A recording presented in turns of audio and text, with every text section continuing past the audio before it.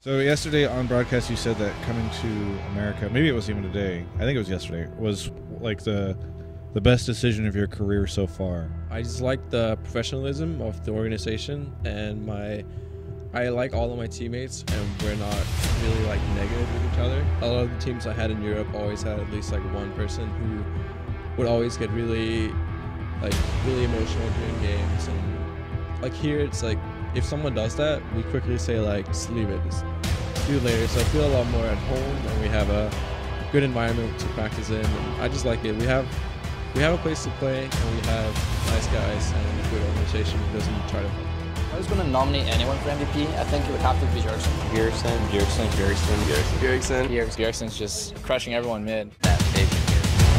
That big the time as they farm it. Pobelter, he could get hit. Oh, to TPA because it was TSM who spent the extra time on Dragon and the mid laner who got first blood. But if he gives it right back.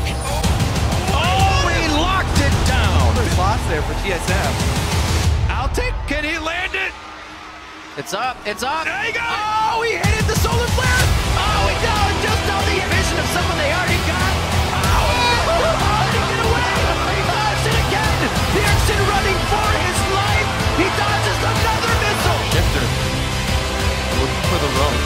Rope. And he wants the pick, and he Shard the it damage. Look at the burst comes through. Can Bjergsen get away with this? Oh!